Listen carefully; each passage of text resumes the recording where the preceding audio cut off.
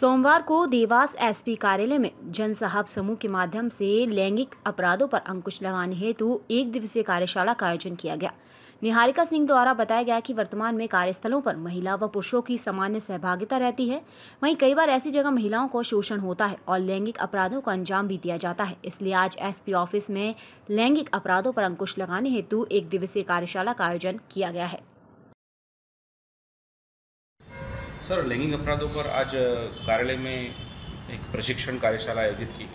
उसमें क्या कुछ सामने आया और किस तरह का प्रशिक्षण रहा?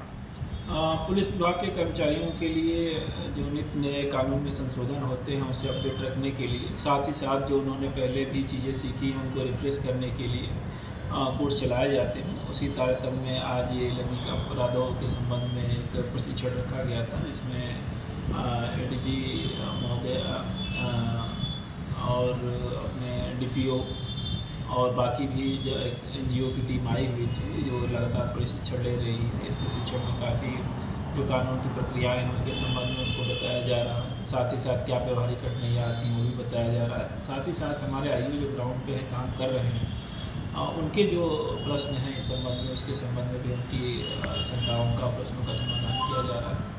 ओवरऑल हमारा उद्देश्य इस प्रशिक्षण के माध्यम से ये है कि हमारी जो कार्य की गुणवत्ता है, वो सुधरे और जो कार्रवाइयाँ हैं हमारी, वो कार्यस्थलों पर महिला और पुरुषों की समान सहभागिता हो रही है। और इसी कारण ये मामले भी सामने आए हैं कि कार्यस्थल पर महिलाओं का लैंगिक शोषण जैसी घटनाक्रम सामने आया है, जिसको लेकर वर्ष 2013 में केंद्र सरकार ने एक अधिनियम बनाया था आज मैंने इसी अधिनियम के अंतर्गत किस तरह की कमेटी बनेगी किस तरह जाँच की जाएगी और किस तरह से अनुतोष दिया जाएगा इस संबंध में एक संक्षिप्त प्रकाश डाला क्या कुछ प्राथमिक कदम होते हैं जिसमें महिलाएँ जहाँ अपने वर्क कार्यस्थल पर जहाँ काम कर रही हैं हाँ। वो अपनी आवाज़ उठा सकती है? उसमें प्राथमिक क्या कदम रहता है?